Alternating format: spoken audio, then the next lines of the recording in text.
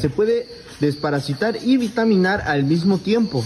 Lo correcto sería, primero, hay que desparasitar y dejar cuando menos ocho días que nuestro desparasitante trabaje en la cerda y de ahí ya podemos aplicar lo que es la vitamina, ya sea ADE, B12, esa sería en promedio la manera correcta que debemos de hacerlo con nuestras cerdas. Otras veces, ahora sí que por las prisas, el número de cerdos o cerdas que tenemos, bueno, ¿qué pasa? Hay veces que hacemos la misma situación al mismo tiempo. ¿Qué va a pasar? No les pasa nada, pero lo correcto sería desparasito y a los ocho días aplico vitamina.